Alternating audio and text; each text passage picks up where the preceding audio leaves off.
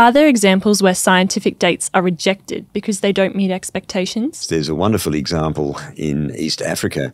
There was a volcanic ash layer that had some tools and other fossils associated with it. So people were very interested in getting the age of these things. So they dated the volcanic ash layer and they got an answer of over 200 million years. But that's no good because there were tools in it and that's too old. So they rejected the date, not because the measurements were wrong or the calculations, it just didn't fit the story. So then they resampled it and got another date, 2.6 million years. That was better until someone found a modern looking skull that was apparently an ancestor of human beings. So they did it all again. And the third time they got 1.8 million years, and that fitted the story. But there was nothing wrong with the measurements or the calculations of those radiometric dates. They were rejected purely because they did not fit the assumed story, the paradigm, if you will. So it's the belief system that always wins and determines which date is accepted.